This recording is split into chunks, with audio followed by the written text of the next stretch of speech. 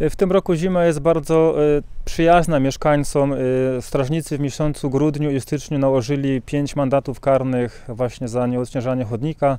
40 osób zostało pouczonych, także na razie jest bardzo spokojnie. No, dzisiaj dopiero są takie duże opady śniegu, także w dniu wczorajszym było też bardzo dużo zgłoszeń dotyczących nieodśnieżonych chodników. Przede wszystkim właściciel nieruchomości jest zobowiązany do usunięcia z chodnika śniegu, błota pośniegowego. Należy ten śnieg pryzmować przy krawędzi chodnika oraz jezdni w taki sposób, żeby nie utrudniać ruchu pieszych oraz y, pojazdom. Y, Natomiast również należy pamiętać, że z chwilą, kiedy pojawią się również nawisy śnieżne czy sople lodowe, należy też to niezwłocznie usunąć. Trochę śniegu spadło mi na samochód, więc no faktycznie mogło to się stać każdemu, tak? Mogło to się stać przede wszystkim jakiemuś człowiekowi. Myślę, że w kontakcie z taką bryłą śniegu czy lodu, no to mogło się naprawdę źle skończyć, więc ja tak naprawdę cieszę się, że to nie spadło na mnie.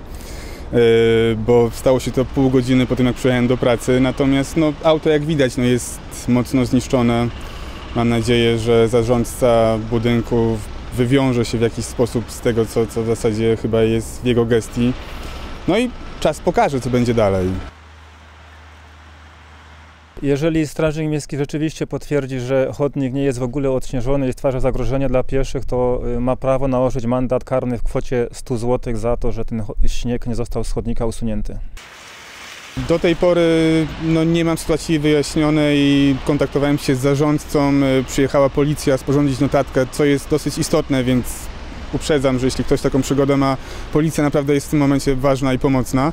Y, No i czekam, że tak powiem. No, nie wiem do końca co zrobić. y, Próbuję się dodzwonić, skontaktować z administratorem.